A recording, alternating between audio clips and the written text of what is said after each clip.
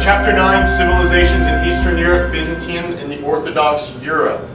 The first several slides are going to be maps. I would highly make sure that you go back over the PowerPoint and the chapter resources on my website and uh, go ahead and make sure you have an understanding of the maps with the boundaries of the Byzantine Empire, the split between the uh, West and the Eastern uh, Roman Empire, uh, and the areas that were bordering the Byzantine Empire, the trade routes, uh, the city of Constantinople and where it is located as far as trade goes, um, and areas that they're going to lose to uh, the Arabs and Muslims.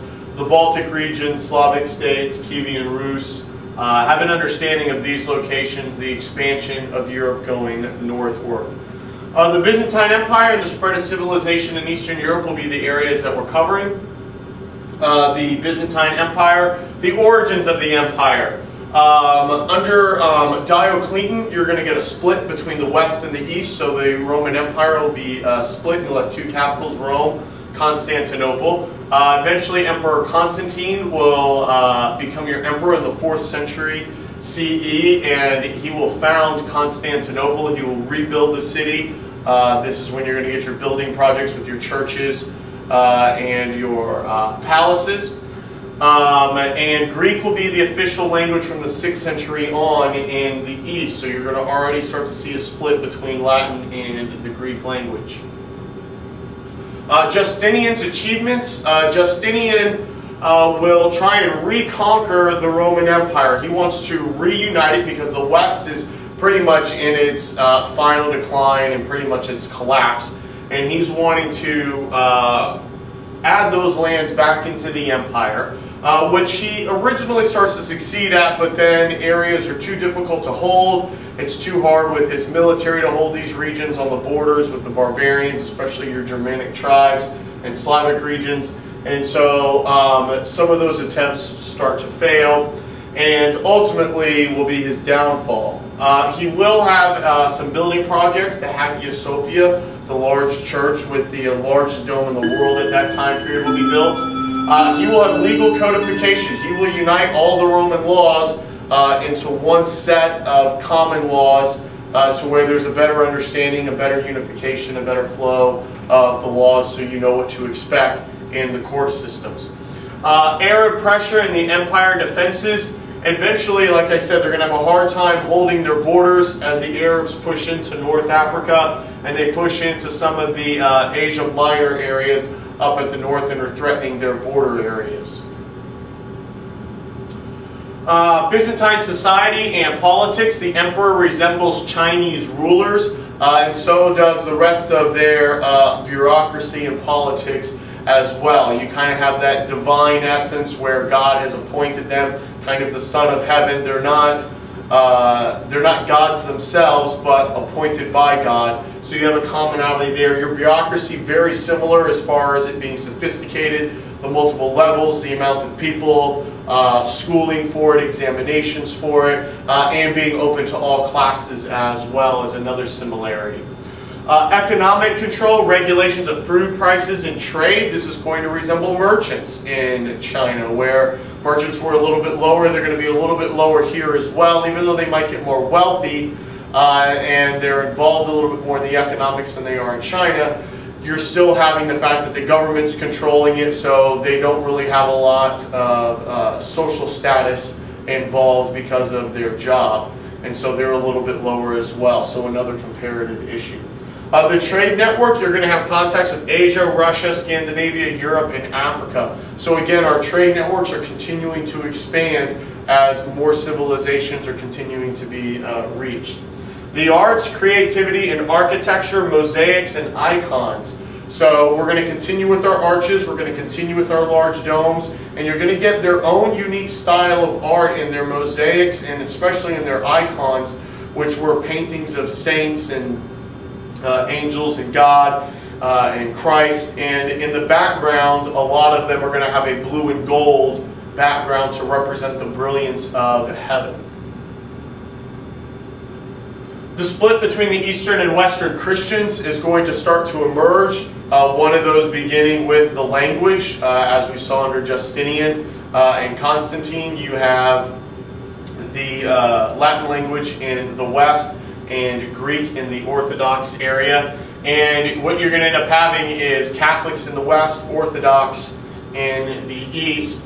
Uh, and some of these are going to start as early as uh, Charlemagne claiming to be the Holy Roman Emperor.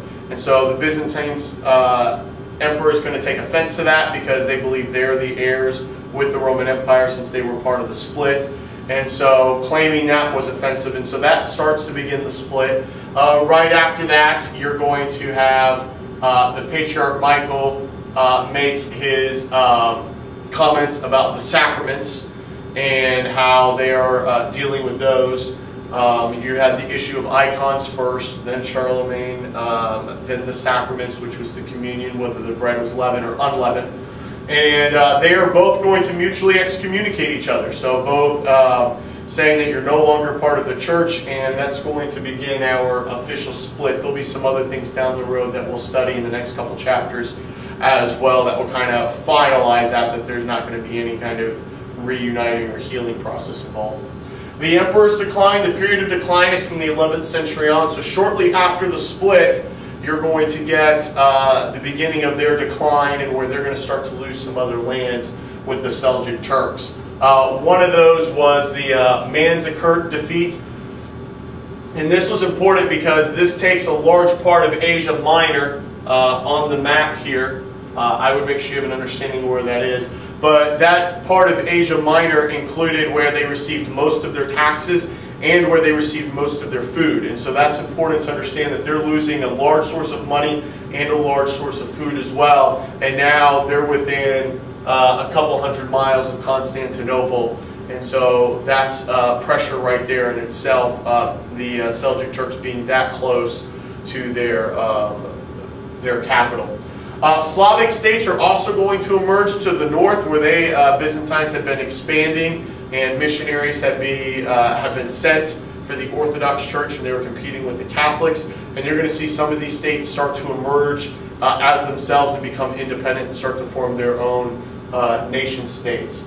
There's an appeal to the West uh, to help with the Crusades, to help them defend against the Arabs uh, that's ignored for a while and then eventually sent on uh, by Pope Urban II, and you'll read more about that again. The uh, really the important crusade to note is the Fourth Crusade, and you'll see it again in a couple chapters. Is uh, in 1204, what's going to happen is you're going to have the Venetian Crusades, and they're going to sack Constantinople, and this is where Venice merchants were competing with Constantinople merchants uh, for power in the Mediterranean and ultimately uh, Venice will end up winning, and that's going to help them secure a spot uh, later on that we'll continue to read where uh, Italy will emerge as a power in the Mediterranean. Uh, Constantinople will fall in 1453 to the Ottoman Turks, and that will officially end the Byzantine Empire in 1461 when they conquer the remaining uh, little pockets uh, that continued afterwards. The influence through conquest, conversions, and trade. Um, as I just said, uh, they'll have missionaries from the Orthodox Church that are going to go northward into the Baltic regions and even up into Kievan and Rus. And uh, Cyril and Methodius, Methodius were um, important missionaries that are going to go up. They're going to fail in the conversions. A lot of these areas are going to go uh, and convert with the Catholic missionaries. But one thing that was important is the Cyrillic script, which was their alphabet for the Slavic language, was developed by the Orthodox missionaries that went up to that region. Uh, the eastern central borderlands, competitions from Catholics and Orthodox Greeks. Uh, we're going to continue. Uh, the Catholics are going to gain areas with the, uh, the Czechs, the Hungary, Poland. Uh, so regional monarchies are going to start to prevail, so there's an influence from the west. Uh, and Jews from uh, Western Europe are going to flood into Poland, and it's going to have the highest concentration of Jews in that area. So a mixture of Orthodox Jews and Catholicism in this region.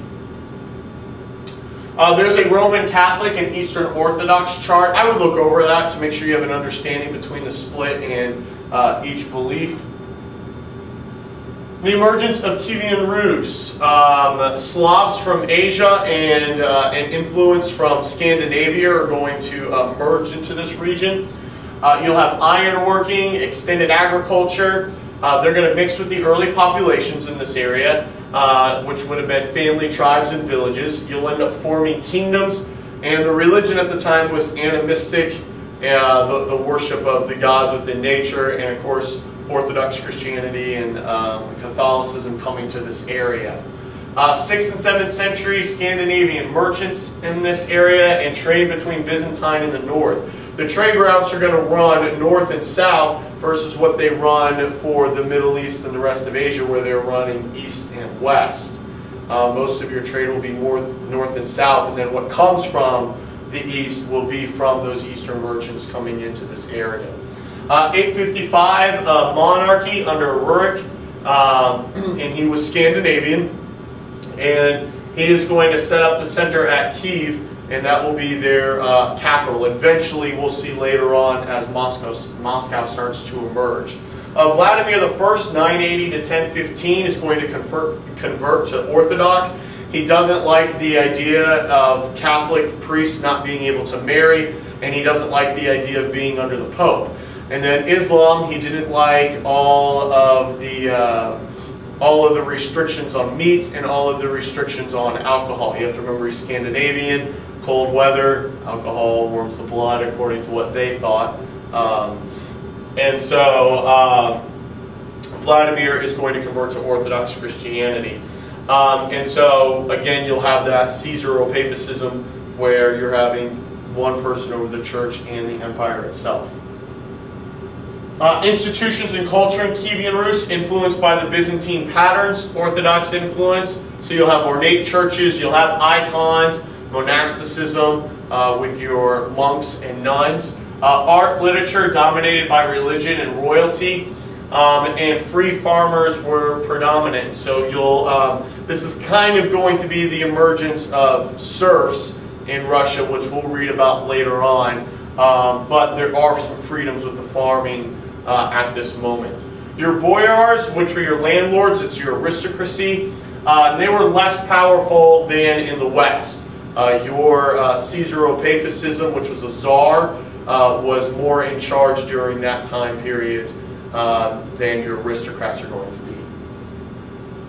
Uh, the Kievan decline is going to decline around the, the 12th century. You're going to have rival governments and problems with succession for for who's going to be in control. And then you're going to have Asian conquerors with the Mongols, and it's a group of Mongols called the Tartars. And they're going to come in and control that area by the 13th century. And um, you're going to have uh, traditional cultures going to survive, uh, but it disrupts some of the politics. And we'll see Russia reemerge politically a little bit later on. The end of an era in Eastern Europe, the Mongol invasions usher in a new period. East and West are further separated uh, and we'll continue to see that in the next couple chapters that we study on Western Europe. And that will conclude chapter